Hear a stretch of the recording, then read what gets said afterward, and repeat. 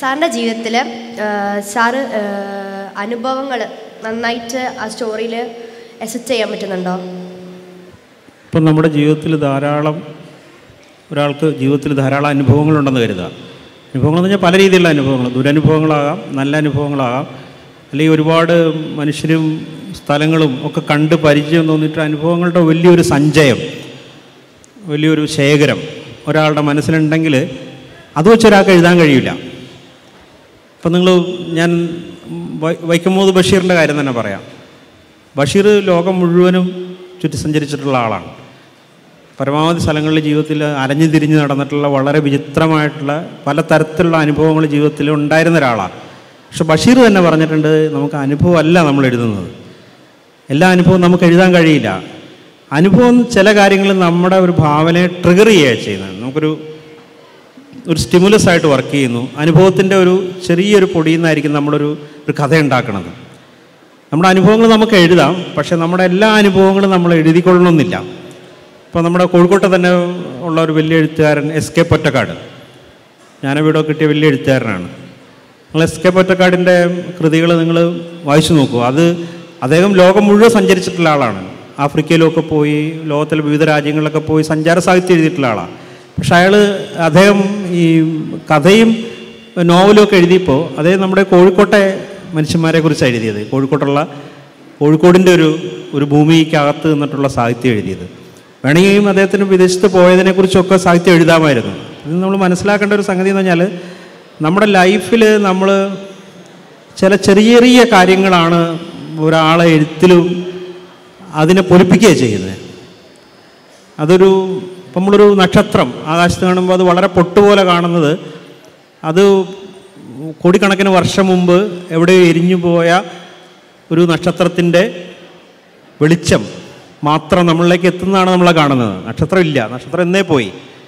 അപ്പോൾ കോടിക്കറ കണക്കിന് വർഷം മുമ്പ് ഇല്ലാതായ ഒരു നക്ഷത്രത്തിന്റെ പ്രകാശം നമ്മുടെ അടുത്ത് എത്താൻ അത്രേ സമയമെടുത്തു. ആ പ്രകാശം മാത്രമേ നമ്മൾ കാണുന്നുള്ളൂ. എന്ന് പറഞ്ഞതുപോലെ ഒരാളുടെ അനുഭവത്തിന്റെ പ്രകാശം ചിലപ്പോൾ അയാളുടെ എഴുത്തിലേക്ക് വരാൻ ഒരുപാട് സമയമെടുക്കും. ചിലപ്പോൾ വന്നില്ലാതും വരും. നമ്മൾ അറിഞ്ഞില്ലാതും വരും. അപ്പോൾ അതുകൊണ്ട് അതൊരു നമ്മുടെ അനുഭവം നമ്മളെ എഴുതാൻ സഹായിക്കും. പക്ഷേ എല്ലാ അനുഭവമല്ല നമ്മൾ എഴുതണം നമ്മുടെ അനുഭവത്തെ നമ്മൾ നമ്മുടെ ഭാവനയുമായിട്ട് ചേർന്ന് പ്രവർത്തിക്കുമ്പോൾ ഒരു സിന്തസിസ് അവിടെ ഉണ്ടാകുന്നു അപ്പോൾ ആ സിന്തസിസിലാണ് ആ ഒരു ആ ഒരു പ്രവർത്തനത്തിലാണ് ഇത് ഈ എഴുത്തെന്നുള്ള പ്രക്രിയ വാസ്തവത്തിൽ നടക്കുന്നതെന്നുള്ളതാണ് നമുക്ക് ആവശ്യമുള്ളത് ഈ നമ്മുടെ അനുഭവത്തിൽ നിന്ന് എടുക്കുക എന്നുള്ളതാണ്. അപ്പോൾ നിങ്ങൾ ചെടികളുടെ ഇലകൾ ബയോളജി പഠിക്കുന്നവർക്കാണ്. ചെടി ചെടിയുടെ ചെടികളുടെ ഇലകൾ സെറ്റ് ചെയ്തിരിക്കുന്നത് ശ്രദ്ധിച്ചിട്ടുണ്ടോ? അത് ഒരു ഇല ഒരു തണ്ടിനകത്ത് ഇല ഇലയുടെ ഇലയെ ചേർത്തിങ്ങനെ സ്റ്റെഡ് എന്നുള്ളത് സംഗതി വളരെ ഇലാസ്റ്റിക്കാണ് അതിന് ഏത് ദിശയിലേക്ക് വേണമെങ്കിൽ തിരിയാം. ശ്രദ്ധി ശ്രദ്ധിച്ചിട്ടുണ്ടോ? അത് എന്തുകൊണ്ടാണ് അത്? സൂര്യപ്രകാശം ഉള്ള ദിക്കിലേക്ക് തിരിയാൻ വേണ്ടിയിട്ടാണ്. ഇലയ്ക്ക് ഏത് ദിക്കിലേക്ക് വേണമെങ്കിൽ ഇലയ്ക്ക് തിരിയാം. സൂര്യപ്രകാശം എവിടെ നിന്നാണ് വരുന്നതെന്ന് വെച്ചാൽ ആ ദിക്കിലേക്ക് ഇല തിരിയും. സൂര്യപ്രകാശത്തിന് ദിക്ക് മാറുമ്പോൾ അതനുസരിച്ച് ഇല ആ ദിശയിലേക്ക് തിരിയും. അങ്ങനെ അത് വളരെ അതുപോലെയാണ് നമ്മുടെ മനസ്സിൽ ഭാവനയുടെ ഒരു സംഗതി. എവിടെ നിന്നാണോ ഭാവനയുടെ ഒരു പ്രകാശം വരുന്നത് അവിടേക്ക് നമ്മുടെ മനസ്സിൽ മനസ്സിങ്ങനെ തിരിഞ്ഞുകൊണ്ടിരിക്കും എന്നുള്ളതാണ്. അപ്പോൾ ആ രീതിയിൽ ഒരു എലാസ്റ്റിക് ആയിട്ടുള്ള ഒരു ചെടിയുടെ ഇല പോലെ എലാസ്റ്റിക് ആയിട്ടുള്ള പ്രകാശമുള്ള അതിന് ആ പ്രകാശത്തെ ആഗിരണം ചെയ്യാൻ സഹായിക്കുന്ന ഒരു ഒരു ഒരു പ്ലേസിലേക്ക് അത് സ്വയം തിരിയുന്നത് പോലെ നമ്മുടെ മനസ്സും ഇങ്ങനെ ഒരു ഭാവനയ്ക്ക് വേണ്ടിയിട്ട് അല്ലെങ്കിൽ ആ ഒരു ക്രിയേറ്റിവിറ്റിക്ക് വേണ്ടിയിട്ട് തിരിഞ്ഞുകൊണ്ടിരിക്കുന്നു എന്നുള്ളതാണ്. സാർ ഒരു റൈറ്റർ ആയതുകൊണ്ട് സാർ കുറേ ബുക്ക് എഴുതിയിട്ടുണ്ടാവും. റൈറ്റ്? അപ്പോൾ എല്ലാ ബുക്കും ഒരേ മെസ്സേജാണോ പ്രൊമോട്ട് ചെയ്യുന്നത് നമുക്ക്? അല്ലെങ്കിൽ എല്ലാ ബുക്കും വേറെ വേറെ മെസ്സേജസ് ആണോ നമുക്ക് തരുന്നത്? നല്ല ചോദ്യമാണ്. നല്ല ചോദ്യത്തിന് ഉത്തരം പറയലും എളുപ്പമല്ല. കാരണം വെച്ചിട്ട് അതിനകത്ത് കുറച്ച് കാര്യങ്ങളുണ്ട്. അതായത് നമ്മൾ ഒരു ഓരോ പുസ്തകത്തിനും ഓരോ ഉള്ളടക്കമാണ്. പക്ഷേ ആ പുസ്തകത്തിന്റെ ഒരു സോൾ എന്നുള്ളത് ആത്മാവെന്നുള്ളത് ഒന്ന് തന്നെ ആയിരിക്കും അതുകൊണ്ടാണ് അത് പുസ്തകമായിട്ട് നിലനിൽക്കുന്നത്. ഒരു എഴുത്തുകാരൻ പത്ത് പുസ്തകം എഴുതിയാലും ഒരു പുസ്തകം എഴുതിയാലും. അയാൾ ആദ്യം പറഞ്ഞ പുസ്തകത്തിലെ കാര്യങ്ങൾ അപ്പോൾ ആ ആദ്യം പറഞ്ഞ പുസ്തകത്തിൽ കമ്മ്യൂണിക്കേറ്റ് ചെയ്യാൻ ഉദ്ദേശിക്കുന്ന കാര്യം കുറച്ചുകൂടെ നന്നായിട്ട് പറയാനായിരിക്കും അടുത്തതിൽ നോക്കുന്നത്. ആദ്യം പറഞ്ഞ് പോരാൻ തോന്നും. എഴുതി കഴിയുമ്പോൾ അത് പോരാൻ തോന്നും. കുറച്ചുകൂടെ കുറച്ചുകൂടെ ഒരു പിന്നെ നന്നാക്കി കുറച്ചും കൂടെ ഒരു മനോഹരമാക്കാൻ പറ്റുമെന്ന് തോന്നും. ഇപ്പോൾ ബുദ്ധി സെൻ ബുദ്ധിസ്റ്റുകളുടെ ഒരു ഒരു സംഗതി ഒരു ഒരു ഒരു സെൻ ബുദ്ധിസവുമായി ബന്ധപ്പെട്ട ഒരു രസമുള്ള ഒരു കാര്യം ഇവിടെ പറഞ്ഞിട്ട് നടത്താം. അതായത് ഈ തിക്നാട്ട് നൺ എന്ന് പറഞ്ഞുകൊണ്ടുള്ള ഒരു സെൻ ബുദ്ധിസ്റ്റ് ഉണ്ട് വിയറ്റ്നാമീസാണ് അങ്ങനെ മരിച്ചു ഈയിടെ ലോകപ്രശസ്തനായ ഒരു സെൻ ഗുരുവാണ് പുള്ളി. വിയറ്റ്നാമീസ് ബുദ്ധിസ്റ്റാണ്. അപ്പോൾ പുൾ ഈ തിക്നാട്ട് നണ്ണിന്റെ ഒരു ഓട്ടോബയോഗ്രഫിക്കലായിട്ടുള്ള ഒരു റൈറ്റിങ്ങിൽ ഒരു പുസ്തകത്തിൽ അദ്ദേഹം ഒരു അദ്ദേഹത്തിന്റെ നാട്ടിലെ ഒരു കഥ പറയുന്നുണ്ട്. അവർ ഈ സെൻ പുസ്തകത്തിൽ ചായ കുടിക്കുക എന്ന് പറയുന്നത് ടീങ് വിത്ത് ടൈം എന്ന് പറയും. അതായത് നമ്മൾ ചായ കുടിക്കാൻ രണ്ട് മണിക്കൂർ മൂന്ന് മണിക്കൂറൊക്കെ എടുക്കും ഒരു ബുദ്ധിസ്റ്റ്. ചായ ഉണ്ടാക്കി കുടിക്കാനേ ഒരു മൂന്ന് നാല് മണിക്കൂർ ചിലപ്പോൾ ഒരു ദിവസം മൊത്തമൊക്കെ എടുത്തായിരിക്കും ഒരു ചായ കുടിക്കുക. എന്താന്ന് പറയുന്നുണ്ട്? അതായത് പിന്നെ ചായ ഇതുണ്ടല്ലോ തേയില പൊടിയല്ല ഇലയുണ്ടല്ലോ. അതായത് നമ്മൾ പൊടിച്ച തേയിലയാണ് ഉപയോഗിക്കുന്നത് അല്ലാതെ ഇല തന്നെ ഇട്ടും ചായ ഉണ്ടാക്കാമല്ലോ. അപ്പം ഈ വിയറ്റ്നാമിൽ ഈ തേയില തേയിലകൾ തേയിലയുമായിട്ട് സെൻ ബുദ്ധിസ്റ്റുകൾ ഈ താമരക്കുളത്തിലേക്ക് തുഴഞ്ഞു പോകും എല്ലാ സന്ധിക്കും. സൂര്യൻ അസ്തമിക്കുന്നതിന് മുന്നേ താമരക്കുളത്തിലേക്ക് തുളഞ്ഞു തുഴഞ്ഞു പോകും തോണിയിൽ സെൻ ബുദ്ധിസ്റ്റുകൾ എന്നിട്ട് ഈ ഇലകൾ ചായക്ക് ഉപയോഗിക്കുന്ന ഇലകൾ ചായ ഇലകൾ തേയില ഈ താമരയുടെ താമര ഇങ്ങനെ വിരിഞ്ഞിരിക്കുകയാണല്ലോ താമരയ്ക്കകത്ത് വെക്കും. പല പല താമരയ്ക്കകത്തായിട്ട് ഇങ്ങനെ കൊണ്ടേ വയ്ക്കും തേയില. സന്ധ്യയാകുമ്പോൾ എന്ത് സംഭവിക്കും? സൂര്യൻ അസ്തമിക്കുമ്പോൾ താമര ഇലകൾ കൂമ്പും അടഞ്ഞു പോകും. അപ്പോൾ തേയില അതിനകത്താവും.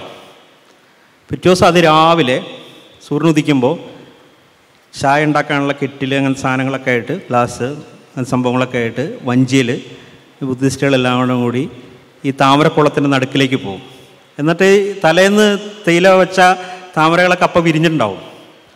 അപ്പോൾ എന്താ ഈ തേയിലയ്ക്ക് ആ തേയിലയ്ക്ക് ഈ താമരയുടെ സുഗന്ധവും കൂടെ കിട്ടും. അങ്ങനെ താമരയുടെ സുഗന്ധവും കൂടെ ആകിരണം ചെയ്ത ഇലകൾ ഈ വഞ്ചിയിലെ വെച്ച അതിൽ സ്റ്റൗവിൽ കെറ്റിലിൽ വെച്ചിട്ട് തിളപ്പിച്ച് അവിടെ ഇരുന്ന് മെല്ലെ മെല്ലെ ചായ കുടിക്കും. അതാണ് പറയുക അപ്പോൾ അതൊരു അങ്ങനെ ഒരു അങ്ങനെ ആസ്വാദ്യകരമാക്കുക എന്നുള്ളതാണ്. പരമാവധി ആസ്വാദ്യം. എത്ര സമയം കൂടുതലെടുക്കുന്നോ എത്രയും കൂടുതൽ നമ്മൾ അതിനകത്ത് ലയിക്കുന്നുവോ അത്രയും ആസ്വാദ്യകരമാവും എന്നുള്ളതാണ്. അതുകൊണ്ടാണ് ഒരാൾ ഒരു പുസ്തകം എഴുതി കഴിഞ്ഞിട്ട് മതിയാവാതെ അടുത്ത പുസ്തകത്തിലേക്ക് പോണത്. ആദ്യത്തെ പുസ്തകം പോരാന്ന് ഞങ്ങൾക്ക് തോന്നുന്നു. അങ്ങനെയല്ല വേണ്ടത്. കുറച്ചുകൂടെ നന്നാക്കാമായിരുന്നു. കുറച്ചുകൂടെ ആസ്വാദ്യകരമാക്കാം കുറച്ചുകൂടെ മാധുര്യം കൊണ്ടുവരാം കുറച്ചുകൂടെ സുഗന്ധം കൊണ്ടുവരാം എന്ന് വിചാരിക്കുന്നു.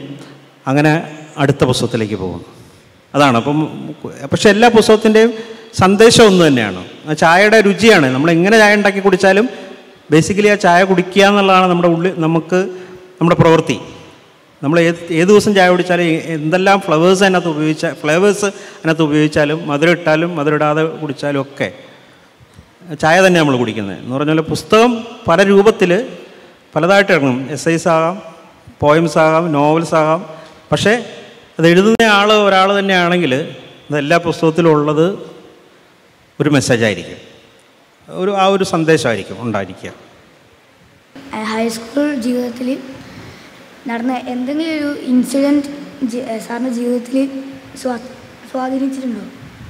നമ്മുടെ സ്കൂൾ ജീവിതം ആണ് നം ഒരാളുടെ ജീവിതത്തിലെ ഏറ്റവും പ്രഷ്യസ് ആയിട്ടുള്ള ടൈം ഏറ്റവും നല്ല സമയം. അതിന് കാരണം എന്താണെന്ന് വെച്ചാൽ നമ്മൾ ഈ പ്രായത്തിൽ നമുക്ക് കിട്ടുന്നൊന്നും മറക്കത്തില്ല. എല്ലാം നമ്മുടെ ഉള്ളിലുണ്ടാവും. മനസ്സ് ഒരു ടബുല റാസ പോലെയാണ് നമ്മുടെ ഈ സമയത്ത്. ഒരു ശുഭ്രമായ ഒരു സ്ലേറ്റാണ് അവിടെ നമുക്ക് എന്തും എഴുതാം എന്നുള്ളതാണ്. അതവിടെ തന്നെ ഉണ്ടാവും. ഞാൻ ഇവിടെ വായിച്ചിട്ടുള്ളൊരു കാര്യമുണ്ട്. ഒരു എഴുത്തുകാരൻ അയാളുടെ ജീവിതത്തിൽ എത്ര പുസ്തകം എഴുതിയാലും അതല്ല അയാൾ പത്തൊമ്പത് വയസ്സ് വരെയുള്ള ജീവിതത്തെ ജീവിതത്തെക്കുറിച്ചായിരിക്കും എഴുതാമെന്ന് അത് കഴിഞ്ഞുള്ള ജീവിതം വെറുതെയാണ് എന്നാണ് പറഞ്ഞത്. അതായത് പത്തൊമ്പത് വയസ്സ് വരെയുള്ള ജീവിതത്തെക്കുറിച്ച് എഴുതാനാണ് പിന്നീട് ജീവിക്കുന്നത് എന്നാണ് എഴുത്തുകാരൻ പറഞ്ഞത്. അപ്പം നിങ്ങൾക്ക് മനസ്സിലായിട്ടുണ്ടാവും അതിന്റെ ഒരു വാല്യൂ എന്താണെന്നുള്ളത് നമ്മുടെ ആ ഒരു സ്കൂൾ ജീവിതത്തിന്റെ നമുക്ക് ഇത്രയും വിപുലമായിട്ടുള്ള സൗഹൃദം പഠിക്കാനുള്ള അന്തരീക്ഷം ഒരുപാട് കാര്യങ്ങൾ അറിയാനുള്ള ജിജ്ഞാസ ഏറ്റവും കൂടുതൽ ജിജ്ഞാസ നമുക്ക് തോന്നുന്നൊരു സമയമാണ്. അപ്പം നമുക്ക് ലോകത്തെ കാണാം മനുഷ്യരെ കാണാം ഒരുപാട് പുസ്തകങ്ങൾ വായിക്കാം ഒരുപാട് കഴിവുകൾ ആർജിക്കാം ഓരോ ഓരോ പുതിയ പുതിയ കഴിവുകൾ ആർജിക്കാം നല്ല നല്ല കൂട്ടുകാരെ ഉണ്ടാക്കാം. അങ്ങനെ ആ രീതിയിൽ നോക്കുമ്പോൾ ഒരു എന്നെ സംബന്ധിച്ചോളം എന്റെ ഏറ്റവും നല്ല ഒരു സമയം ഞങ്ങളുടെ നാട്ടിലെ സ്കൂളിലുള്ള ഒരു സമയമായിട്ടാണ് എനിക്ക് തോന്നിയിട്ടുള്ളത്. അത് ഒരുപാട് കാര്യങ്ങൾ നമ്മുടെ സ്കൂൾ കാലത്തെ ഒരുപാട് സംഭവങ്ങൾ പിന്നീട് സ്കൂൾ കാലത്തുള്ള നമ്മുടെ സുഹൃത്തുക്കൾ എനിക്ക് തോന്നുന്നു ആ സമയത്തുള്ള പല സുഹൃത്തുക്കളും നമ്മുടെ ജീവിതകാലം മുഴുവൻ നമ്മുടെ കൂടെ ഉണ്ടാവും. അന്നേരത്തെ അനുഭവങ്ങൾ നമ്മൾ അങ്ങനെ ഓരോന്നോരോന്നായിട്ട് പറഞ്ഞാൽ ഒരുപാട് പറയാനുണ്ടാവും. പക്ഷേ വളരെ ഫ്രൂട്ട്ഫുള്ളായിട്ടുള്ള വളരെ ക്രിയേറ്റീവായിട്ടുള്ള ഒരു ഒരു ഫോഴ്സായിട്ട് ഒരു ക്രിയേറ്റീവ് ഫോഴ്സായിട്ട് പഠനകാലം സ്കൂൾ പഠനകാലം നമ്മുടെ ഉള്ളിൽ നിലനിൽക്കുന്നുള്ള കാര്യത്തിൽ യാതൊരു സംശയവുമില്ല. അതുകൊണ്ട് നിങ്ങളെല്ലാവരും അത് മാക്സിമം എൻജോയ് ചെയ്യുക മാക്സിമം അതിനെ ക്രിയേറ്റീവായിട്ട് സമീപിക്കാൻ ഏറ്റവും ഫലപ്രദമായിട്ട് ഉപയോഗിക്കാൻ വേണ്ടിയിട്ടുള്ള ഒരു ജാഗ്രതയോടുകൂടി മുന്നോട്ട് പോവുക. നമസ്കാരം.